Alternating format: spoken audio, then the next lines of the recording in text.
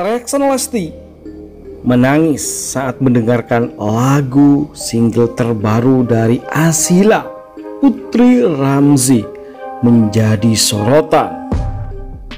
Ada yang menyangkut pautkan hal tersebut dengan permasalahan rumah tangganya hingga akhirnya Rizky Bilar dibawa-bawa karena Lesti menangis.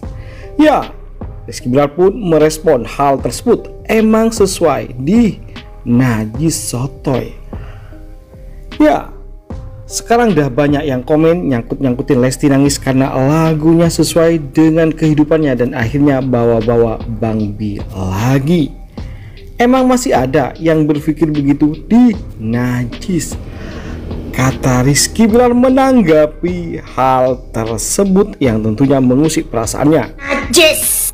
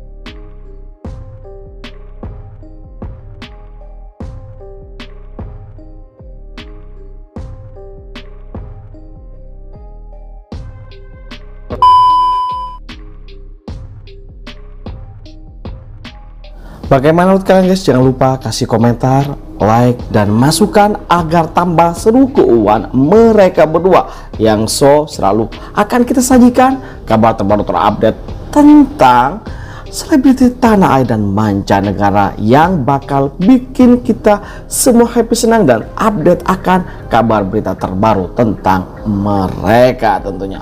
Oke itu saja kabar dari kami. Jangan lupa like, comment, dan subscribe.